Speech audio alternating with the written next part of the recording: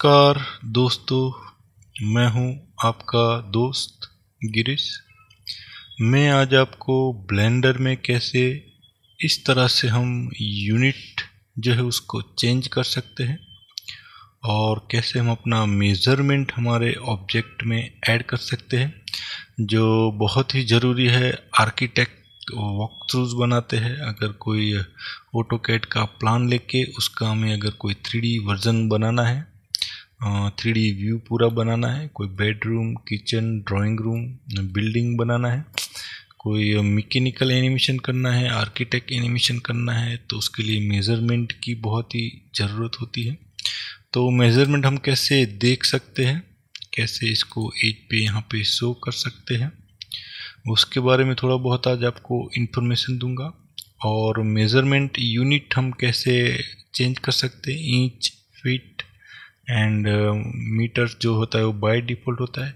तो चलिए स्टार्ट करते हैं। तो चलिए दोस्तों मैं आज आपको दिखाता हूँ। एक नया फ़ाइल ले लेते हैं बाय डिफ़ॉल्ट जनरल और अब ये बाय डिफ़ॉल्ट जो है वो हमारा सेटअप हो गया है। तो सबसे पहले मैं आपको मामूस की जो मूवमेंट है उसको सेट कर देता हूँ। तो यहाँ पे मैंने माउस की मूवमेंट जो है सेट कर दी है। तो आपको यहाँ पे आइकॉन दिखाई देंगे। कौन सी की मैं प्रेस कर रहा हूँ, कौन सी left click middle click right click से क्या क्या हो रहा है। तो सबसे पहले मैं आपको यूनिट जो है वो सेटअप करके दिखाऊँगा। तो यहाँ से हम सीन जो है हमारा टैब वहाँ पे चले जाएँगे। यहाँ पे आएगा सीन्स में अभी करंटली कैमरा है बैकग्राउंड सीन में हमारा ऑब्जेक्ट मोड है और एक्टिव मूवी क्लिप है। देन यहाँ पे सेकंड ऑप्शन जो है वो आ रहा है, वो हमारा यूनिट आ रहा है, जैसे आप यहाँ पे जाएँगे। तो ये यूनिट का जो ऑप्शन है, वो आ रहा है।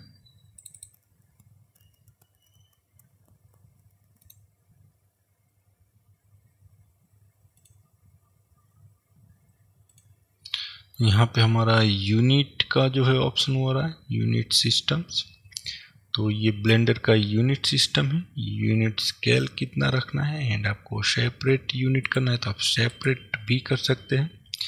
देन मैं यहाँ से चेंज करता हूँ। मैट्रिक्स की जगह मुझे चाहिए नन। तो अभी कोई भी यूनिट जो है वो इम्प्लीमेंट नहीं होगा। इम्पीरियल हम रखेंगे तो हमें यहाँ पे ऑप्शन मिल जाएगा लेंथ में। फीट रखना है एडेप्टिव रखना है माइल्स रखना है इंच रखना है बाय डिफ़ॉल्ट फिट एक्टिव होता है, जब हम इम्पीरियल करते हैं तब। उसके बाद मुझे यहाँ पे इंचिस में चाहिए इंचिस हो जाएगा। मैंने यहाँ से यूनिट तो सेटअप कर दिया, लेकिन मुझे यहाँ पे मेज़रमेंट जो है वो देखना है कि कितना मेज़रमेंट है। तो यहाँ पे एक टूल दिया है मेज़र टूल यहाँ से आप इसका मेज़रमेंट कर सकते हैं। ठीक है, ये हमारा हो गया मेज़र लेकिन मुझे पर्टिकुलर एज का मेज़रमेंट चाहिए तो हम यहाँ पे हमारा जो ऑप्शंस है ओवरले यहाँ ओवरले में आ जाएँगे, यहाँ ओवरले पे क्लिक करेंगे। अभी यहाँ पे वो ऑप्शन नहीं आ रहा है। क्यों नहीं आ रहा है? क्योंकि हमें एज का मेज़रमेंट चाहिए। एजिस का मेज़रमेंट चाहिए। तो अभी हमने यहाँ पे एजिस मोड जो है वो ऑन नहीं किया है। तो मैं ऑब्जेक्ट मोड की जगह यहाँ पे एडिट मोड में चला जाऊँगा और सेकंड ऑप्शन पे क्लिक करूँगा। यहाँ पे एजिस पे क्लिक करेंगे। यहाँ पे मैं जाऊँगा ओवरले में। ओवरले में जैसे हम जाएँगे तो सारे ऑप्शन आ जाएँगे। यहाँ पे आएगा एज लेंथ जैसे ही मैं एज लेंथ पे क्लिक करूँगा और ए प्रेस करूँगा तो सारी जो है एजिस की लेंथ बताएगा। जैसे मैं इसको यहाँ से फेस सेलेक्ट करके एक्सट्रूड करूँगा ऑन जी एक्सिस तो इसकी भी ये वैल्यू दिखाएगा यहाँ पे। यहाँ पे क्लिक करेंगे तो इसकी वैल्यू दिखाएगा। तो ये बहुत ही ज़रूरी हो जाता है जब हम मेज़रमेंट करके हमें वर्क करना हो। जब हमें किसी भी ऑब्जेक्ट का, किसी भी चीज़ का मेज़रमेंट चाहिए, तब आप इसका ऑप्शन का यूज़ कर सकते हैं। सिंपल आपको ऑन करना है और सीन में जाके यहाँ से आपको यूनिट जो है, वो चेंज करना है इम्पीरियल ठीक है? तो आज का टॉपिक इतना ही था।